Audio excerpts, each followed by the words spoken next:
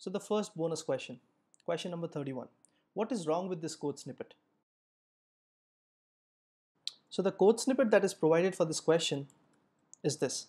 So it's on the trigger of account and this is the code snippet that we have right now. So let's look at what's wrong with this code snippet. All right. So what I'll try to do is I'll just try to save this file first of all and see if there are any problems. So there are no compilation errors, which means the syntax is fine and the compilation works fine. Let's look at what could be the issues. Alright, so let's look at what could be wrong about this code snippet. Alright, so this is trigger, account trigger on account, which looks fine, and the event selected has been after insert, right?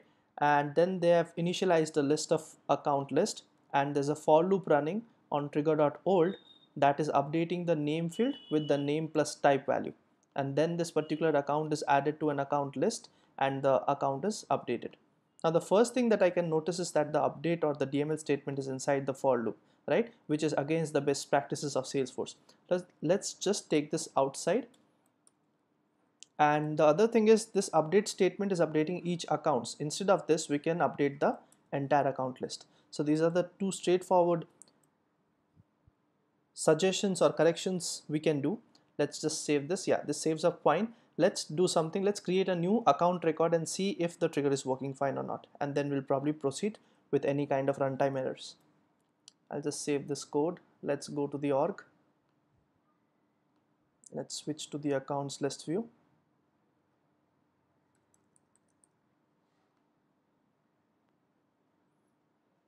And let's create a new record. Now since the event is after insert let's see what happens. So I'll just click on new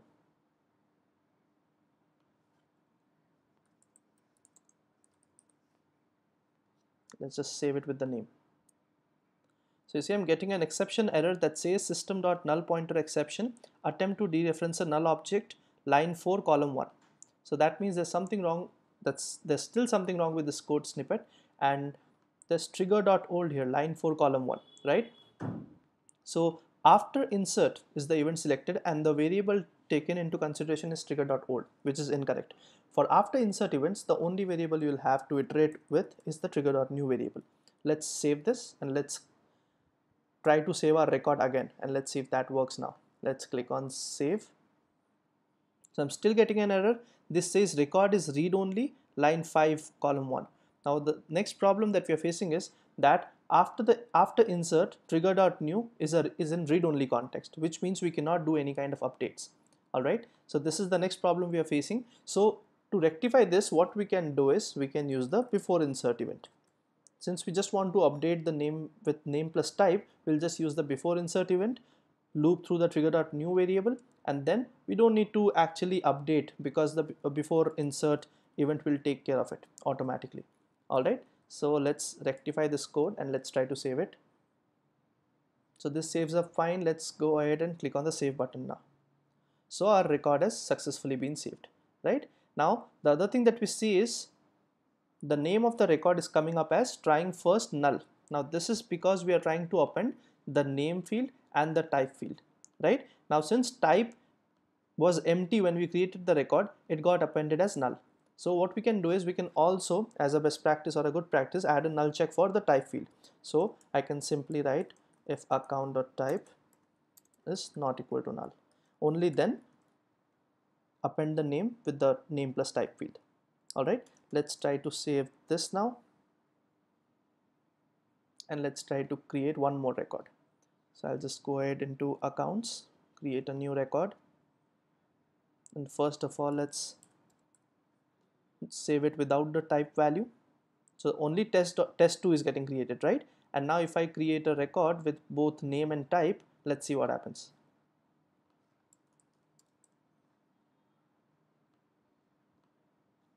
I've taken the type as prospect. Let's click on save.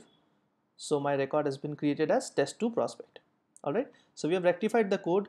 Uh, we did a we did some amount of things on this particular code. First of all, we changed our event from after insert to before insert because for after insert trigger.new is in read only context. The next thing what we did is we updated the for loop and used trigger.new instead of trigger.old because this trigger.old is not available for inserts the next thing that we added is a type check a null check on the type field because we were getting null values when we were trying to append it. And we had two more lines that were updating the account inside the for loop and adding it to the list. We did not really need that because before insert takes care of it. All right? So we also don't need line 3 anymore because we are not using the list. So this should look like our final code snippet which is working and which should be the correct response. All right? Cool. Let's move on to the next question question 32 how do you fetch the last modified opportunity for an account in Apex? Alright, so the next question talks about fetching the last modified opportunity for an account record in Apex, right? So this can be easily achievable via SOQL. First of all, let's try to create some records. Let's go to accounts. Let's use this account test2 prospect and create some opportunities here. So I'll just create two or three opportunities op1 define the close date define the stage and I should be able to save it. I'll just click on save and new and I'll create one more opportunity. This will be op2 stage needs analysis close date 27th and I'll click on save. So now I have two opportunities right? And what we need to do is we need to figure out which opportunity is the last modified opportunity for this account. So let me just quickly take this account record ID and let's go to the developer console and write into the query editor. All right. So I can simply query this by select id comma name from opportunity. First of all I'll add the account ID filter where account ID equal to the record ID that we are looking into in concern. And then I can simply use the order by clause. So there's a field which is an audit field called last modified date. I can use order by last modified date desc what desc will do is sort this into the descending format. And I just need the top record or basically just the one record which is recently modified. So I'll use a limit one clause. Alright? So let's bifurcate this. Let's split this and try to figure out one by one. So I'm just querying all the opportunities whose parent ID is this particular account. Alright? Let's click on execute. So this is returning two records op1 and op2 the ones that we created. Let me add some more fields in here. I'll just add last modified date and create date. Right now we did not modify anything per se so these two date times date timestamps would be same which is the case. Now let's do something. Let's add our filter. Now let's add order by last modified date. Let's keep it order by last modified date. If we keep it just order by last modified date this will sort this in ascending format. All right? If I click on execute